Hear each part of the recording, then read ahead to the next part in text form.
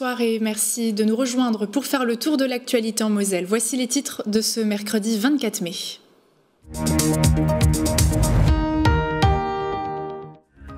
Dans cette édition, revivez les grandes étapes de construction de la ZAC de l'amphithéâtre à Metz, nouveau quartier qui continue sa métamorphose avec la phase 2 des travaux que nous allons détailler dans un instant. Vous partirez également en pleine transhumance aux côtés des moutons. Ce matin, ils ont démarré leur périple de Rosselange pour trouver une herbe plus verte à Ranguevaux. Et puis direction le château de Romécourt où 85 bénévoles se tiennent prêts à accueillir les visiteurs au mois d'août pour vivre une vie de château comme au XXe siècle.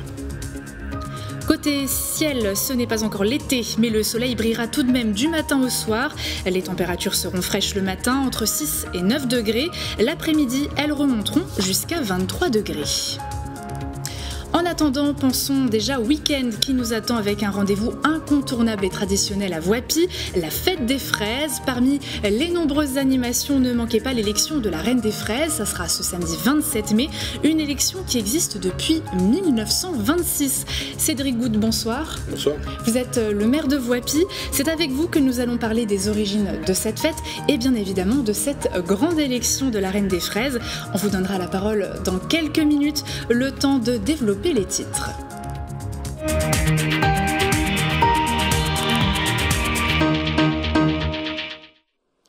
Vous avez peut-être l'impression que le quartier de l'amphithéâtre à Metz fait partie du paysage depuis toujours, peut-être le signe que les riverains euh, l'ont finalement parfaitement intégré dans leurs habitudes. Pourtant, ce n'est que depuis le 25 février 2000 euh, que la ZAC de l'amphithéâtre commence à sortir de terre.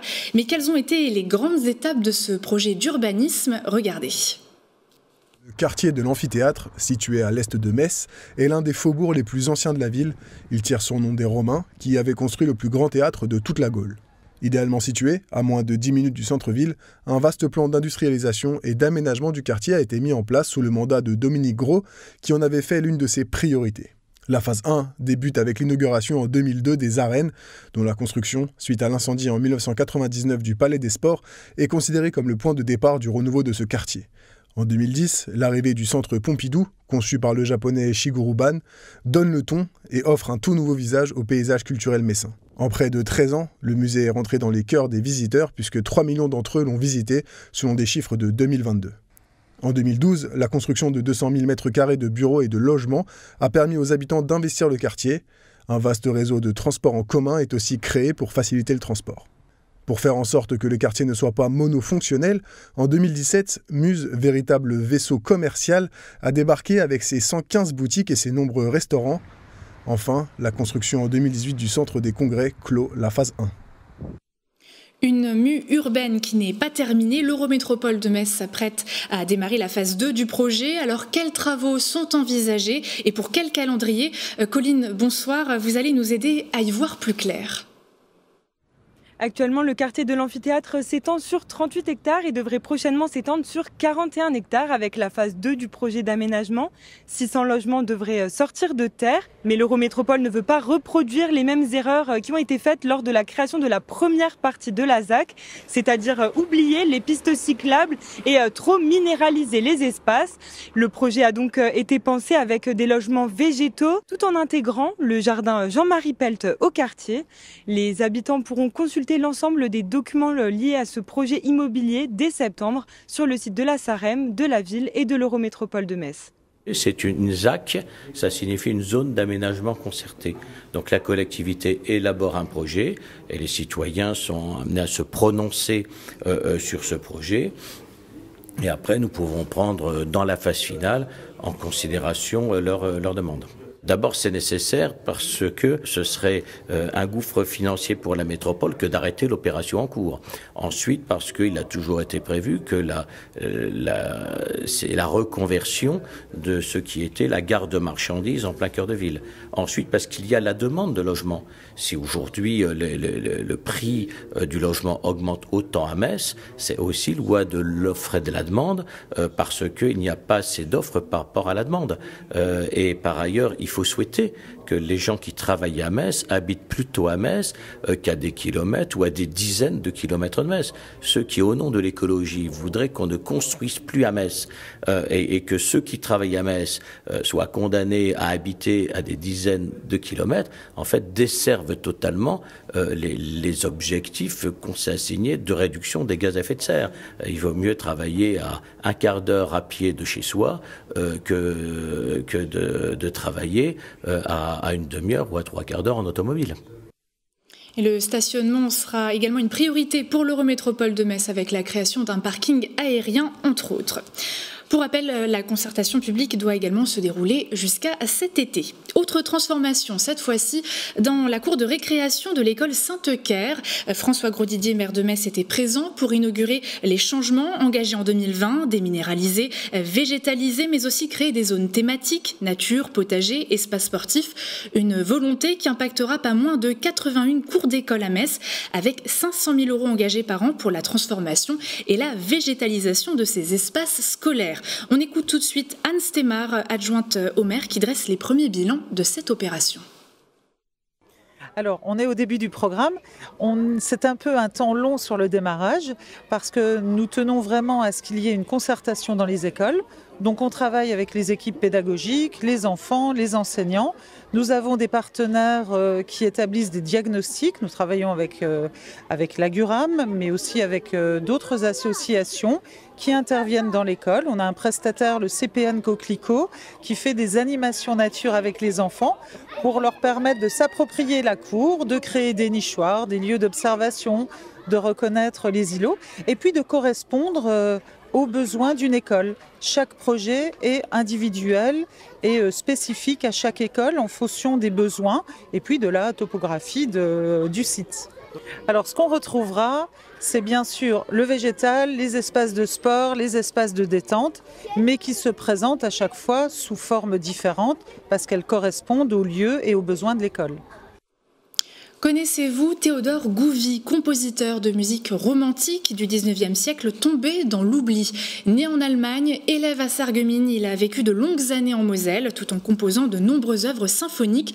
À Hambourg, dans son ancienne maison familiale, l'Institut Gouvy continue de faire vivre son parcours musical, effacé injustement des mémoires. C'est un reportage de Colline L'Expert.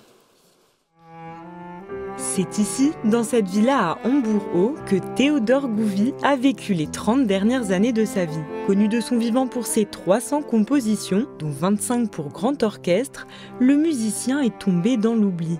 Entre ses murs, l'Institut Gouvy œuvre donc pour conserver le patrimoine du compositeur, comme ce piano familial. La villa est encore en travaux et proposera prochainement un parcours muséal pour valoriser le fonds de documents. Nous, ce qu'on veut, c'est que ce soit un lieu, ce qui existe jusqu'à maintenant, un lieu vivant. On a aussi euh, euh, tout un projet pédagogique depuis 2011. Les jeunes viennent ici, on les fait, leur fait faire tout un petit travail sur Théodore Gouvy, avec, avec justement le formateur et sa musique. Donc on, les fait, on arrive même à les faire jouer un petit peu du Gouvy. Par ses actions culturelles, l'Institut fait rayonner le souvenir de Gouvy en Moselle-Est. Mais le département, qui soutient financièrement l'Institut, souhaite aller plus loin. Je dirais qu'il y a trois grands personnages qui ont largement marqué l'histoire de notre département. C'est Robert Schumann, c'est Paul Verlaine et c'est Théodore Gouvy. Donc on est véritablement là, dans la maison de, de Théodore Gouvy, qui euh, gagne à être connu. Et nous avons, nous, département, nous, collectivités publiques, la responsabilité de promouvoir sa, mémoire et surtout son œuvre. Donc nous allons, euh, durant les années à venir, continuer à faire la promotion de ce musicien, compositeur absolument remarquable. D'ici là, l'Institut continue ses actions culturelles en Moselle-Est. La villa devrait rouvrir ses portes au public aux Journées du patrimoine en septembre prochain. Apparition d'algues inoffensives dans la Moselle et transhumance des moutons, deux sujets que nous allons détailler tout de suite.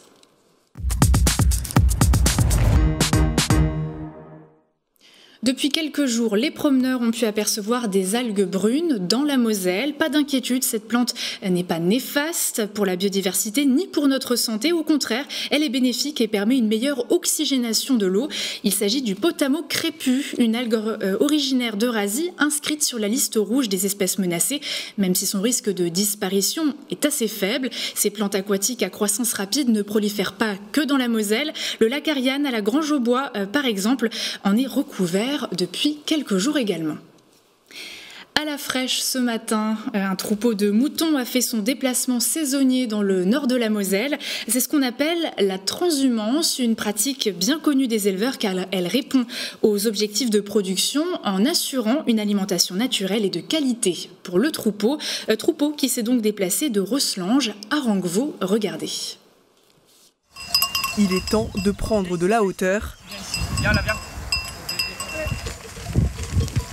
La transhumance est une tradition qui s'était perdue.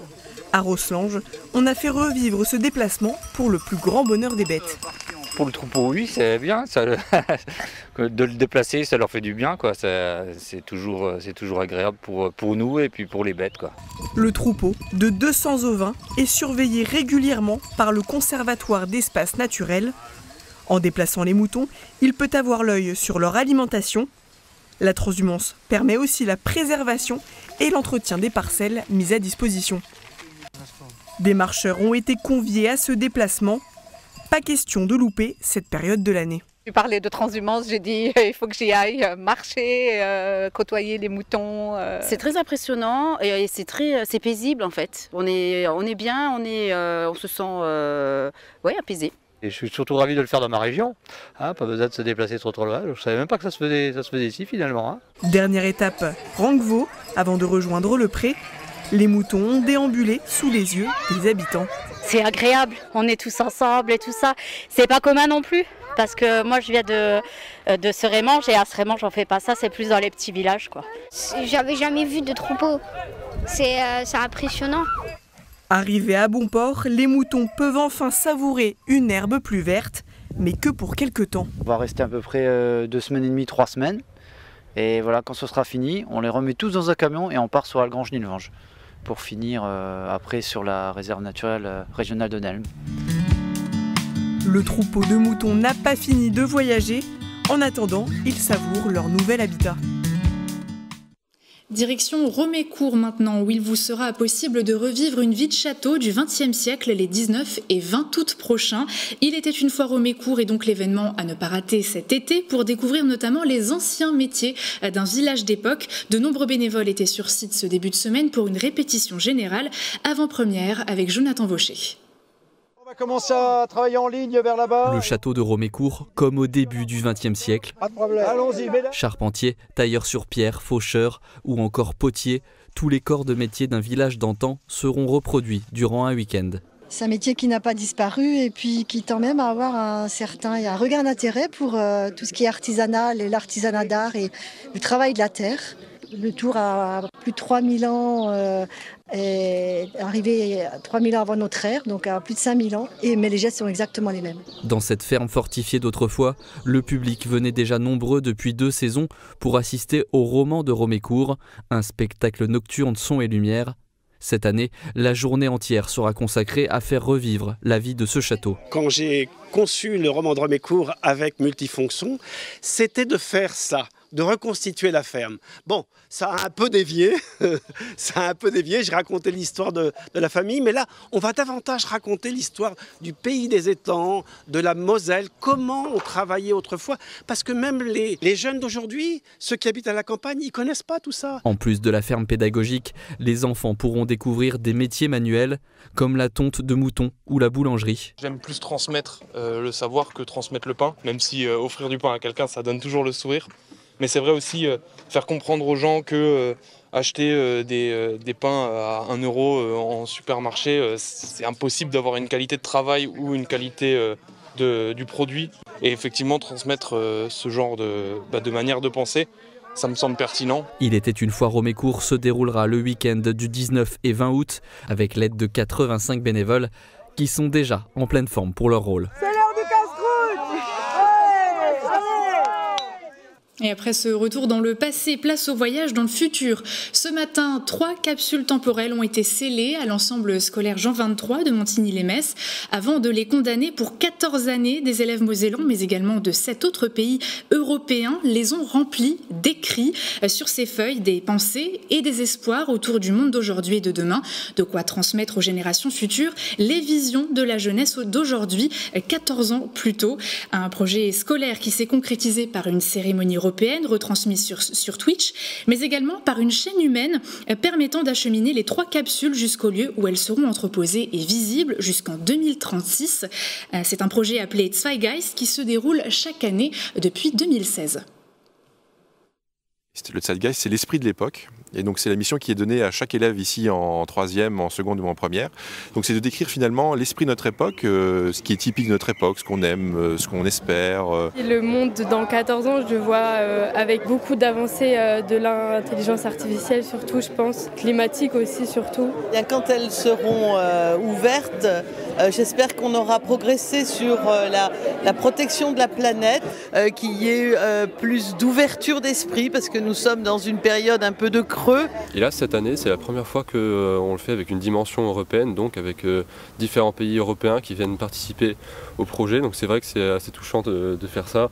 Voilà, on a d'autres pays comme, euh, comme l'Ukraine, la Lituanie euh, qui nous ont rejoints. Et Ensuite, l'idée, c'est que bah, les élèves de, de chaque année euh, puissent euh, bah, rencontrer les élèves qui vont ouvrir euh, les capsules 14 années plus tard. Donc la rencontre finalement entre euh, les ancêtres et les héritiers qu'ils ont eux-mêmes euh, désignés euh, pour ce projet. Allez, on passe à la culture. Aujourd'hui, dans la boîte à malice, Alicia Hiblot vous propose de faire connaissance avec l'artiste Emmanuel Bémer qui joue son spectacle jeune public Le Pompon au Trinitaire de Metz les 3 et 4 juin prochains. Au programme également un focus sur la compagnie de théâtre amateur du Tabouret à Barchin qui fête ses 30 ans. L'occasion d'en savoir plus sur cette troupe qui place l'humour et l'humain au centre de ses projets. Est constituée, est exclusivement de comédiens amateurs. Personne n'est ni payé ni indemnisé euh, chez nous, c'est notre mode de fonctionnement euh, depuis le, depuis le début. Euh, ce sont des gens qui sont tout simplement passionnés par ce qu'ils font, passionnés par le théâtre et en particulier par la, comédie, parce que c'est quand même ça qui les intéresse, qui prennent beaucoup de plaisir à jouer sur scène.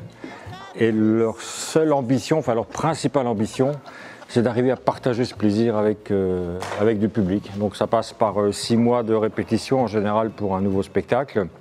Et puis après, on part en tournée pendant, pendant deux ans, puisqu'on fait, euh, on monte des spectacles qui durent à peu près deux ans. Si tu n'arrives pas ton bus à attraper, peut-être peux-tu devenir championne de karaté. Bah, surtout, ce qui me plaît, c'est aussi de, c'est- c'est de jouer dans cette troupe que j'aime beaucoup. Et puis, euh, j'ai toujours aimé faire le con, encore plus sur scène. Euh, donc, euh, donc forcément, ça me plaît. Pour la, pour la commune, ça représente beaucoup parce que c'est la seule association qui, qui est dans la commune. Donc ça attire énormément de monde. C'est un local euh, typique d'époque, c'est une ancienne, une ancienne grange et c'est ce qu'ils recherchent un peu des gens. D'ailleurs, ils, vont, ils peuvent le confirmer, ils vont souvent jouer ailleurs, mais des gens ils attendent que ça se passe à Barchin pour venir de la grange parce qu'il y a une ambiance vraiment particulière. Un reportage à découvrir dans son intégralité ce soir dans la boîte à malice et en replay sur notre site internet. Mais avant cela, on va évoquer la fête des fraises qui se déroule depuis le 8 mai à Voipy avec en temps fort ce 27 mai l'élection de la reine des fraises.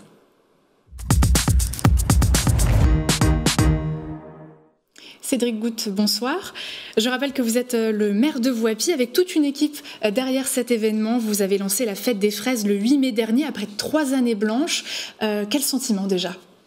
Un sentiment de fierté de retrouver cette tradition, tradition qui était euh, certes euh, présente depuis de nombreuses années, qui a dû attendre euh, sur la période de la Seconde Guerre mondiale, où on a dû également mettre de côté ces festivités, et de pouvoir relancer cette tradition avec tous ceux qui y dépendent, à la fois la reine, mais également l'ensemble des corsos. Donc c'est une fête qui existe depuis 1926. En quelques mots, est-ce que vous pouvez nous rappeler les origines de cette fête des fraises? À vrai dire, c'est, ça, ça, remonte un peu plus loin sur l'arrivée déjà des fraises, notamment sur Voipy, parce que c'est en 1868 que deux vignerons se baladaient dans les coins de Brest et, et ramènent des plants de fraises pour justement essayer de les cultiver sur, sur Voipy. Hélas, la ville a, été touchée parce qu'il y avait pas mal de vignes qui étaient identifiées notamment sur, sur Voipy et ils se sont dit, bon, on va les changer, on va mettre des plants de fraises pour pouvoir justement faire des récoltes. Et on est arrivé avec des années qui étaient très propices en, termes de récolte, parce qu'on a pu monter à certains moments jusqu'à 9000 tonnes de fraises qui ont pu à la fois voyager euh, en France, mais également à l'étranger. Euh, on le voit d'ailleurs les, sur les images où il y a eu des départs. Et la gare de triage a permis également de pouvoir justement les, développer, et en tout cas développer ces ventes vers, l'étranger et vers l'extérieur. Donc une fierté de, pouvoir revoir, on va dire, ces fraises. Euh, certes, on a eu euh, trois ans euh, avec le Covid qui, ont fait, qui a fait qu'on a dû attendre, mais de pouvoir remettre en place cette tradition qui était chère à, à tous les Wapiciens. Depuis 1926, est-ce que la, formule de, cette fête des fraises est, est, restée inchangée ou il y a eu quand même des, ajustements? Il y a eu de très faibles ajustements parce que ça a démarré dans un café à la fête des fraises, c'est-à-dire que les premières reines qui ont, pu être euh, mises en avant, euh, c'était euh, donc dans un café wapicien, donc en comité très restreint parce que c'était au départ notamment sous la présidence d'une personne aussi très connue, donc la famille de Ladonchamp, connue notamment sur Wapi, que s'est déroulé les premières élections. Après, on est allé dans des salles au fur et à mesure un peu plus grandes avec cette volonté cette année ben, de la modifier encore, c'est-à-dire qu'on sera directement auprès du public, on ne sera pas sur un, une soirée, sur un gala, on sera réellement dans cette volonté ben, de permettre à tout le monde de pouvoir retrouver cette tradition. Alors, euh, depuis le 8 mai dernier, on l'a dit, de nombreuses animations se sont déroulées. Ça sera aussi jusqu'à fin juin. Hein. Il y a énormément de choses. Pour cette 93e édition, on va justement se concentrer sur cette euh, élection de la Reine des Fraises avec plusieurs candidates. Il y en a cinq, euh, avec des profils très différents. C'est la volonté justement bah, d'avoir euh, une ouverture euh, de toutes les candidates qui souhaitent justement représenter la ville de Voipy et candidater notamment au niveau de la fraise. Donc on a euh, à la fois des personnes qui sont de Voipy, d'autres qui ne le sont pas, mais qui apprécient notamment la ville, avec cette volonté justement bah, de pouvoir découvrir, quand vous avez notamment sur les réseaux sociaux les vidéos qui, ont, qui sont prises des différentes candidates, ben, on découvre tout Voipy, parce que sur Voipy, on a énormément, on va dire, d'éléments à voir, à visiter et à identifier. Et en tout cas, cette volonté que euh, les candidates ont, euh, notamment, c'est de pouvoir justement montrer Voipy et d'en être fiers. Il y a eu beaucoup de candidates. Là, on en voit euh, les cinq sélectionnés pour les votes, mais est-ce qu'il y en a eu beaucoup? On en a, on va dire, 5-6 en plus qui étaient identifiés euh, et euh, voilà, qui euh, soit n'ont pas forcément donné suite jusqu'à la finalité des dossiers, soit pour des questions également de timing ne pouvaient pas se rendre disponibles, parce qu'il y a quand même aussi des obligations qui vont venir derrière, c'est-à-dire qu'ils seront dans l'obligation aussi de représenter la ville de Voipy dans les différentes manifestations, et c'est pas forcément si simple. C'est une année qui est complexe, qui est plaisante, mais qui demande également du temps libre. Ce n'est pas que porter le diadème que vous nous avez ramené aujourd'hui. Euh, donc, euh, comment on fait pour voter pour euh, ces candidates? C'est sur Facebook pour le moment? Alors on a voulu justement innover, c'est-à-dire qu'on a à la fois les réseaux sociaux qui vont compter pour 25% notamment des votes. On va avoir également l'applaudimètre qui sera présent justement au niveau du public et qui va également compter à 25% et à 50% on aura notamment les membres du jury. Et on a l'honneur d'avoir deux marraines cette année, à la fois forcément la, Miss Fraise 2019 mais également la, la Reine de la Mirabelle donc 2022 qui nous fait l'honneur justement d'être avec nous sur cette édition. Alors un dernier point très rapidement, un point peut-être donc sur ce déroulé du week-end. Qu'est-ce qui attend nos téléspectateurs? Alors on aura à la fois vendredi soir un corso de nuit euh, qui va être proposé. C'est la nouveauté notamment euh, cette année euh, de pouvoir profiter sur tous les quartiers de la ville qui seront donc, donc mis en avant sur ces fêtes des fraises. Corso de nuit à Boileau, Prégénie, Saint-Éloi avec les lumières, avec notamment le conseil municipal des enfants qui sera sur un char. Et on retrouvera donc l'élection le samedi soir pour la, Reine des fraises qui va démarrer à partir de 17h30 jusqu'à 21h avec la possibilité également bah, de pouvoir se restaurer sur la place d'Eps, donc juste à côté de la mairie de Voipy. Et on aura le traditionnel, on va dire, corso du, du dimanche. Cette parade avec les chars. Cette parade, et on retrouve de nouveau les chars.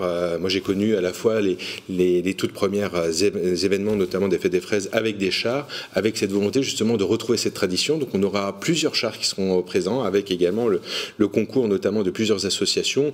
On retrouvera notamment euh, des fraises qui seront distribuées euh, notamment par, par les, les jeunes du conseil municipal des enfants et également bah, les fameux bonbons qui font plaisir aux grands et aux petits euh, de, de, tout âge pour justement de nouveau avoir ce, gain de, fierté d'être voipicien aussi, de retrouver cette tradition qu'on a dû mettre de côté et qu'on retrouve avec grand plaisir.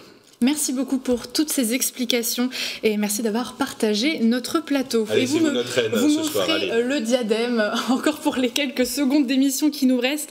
Euh, c'est une info plutôt insolite que je vais vous donner pour terminer cette édition. Euh, le père Grégoire, curé de Morange, euh, doit passer ce mercredi soir dans l'émission Cleaners, les experts du ménage, diffusée sur TFX à 21h.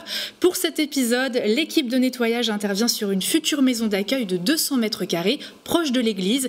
Il s'agit pour le père Grégoire de rénover cette bâtisse inhabitée depuis 5 ans, depuis le départ des Bonnes Sœurs.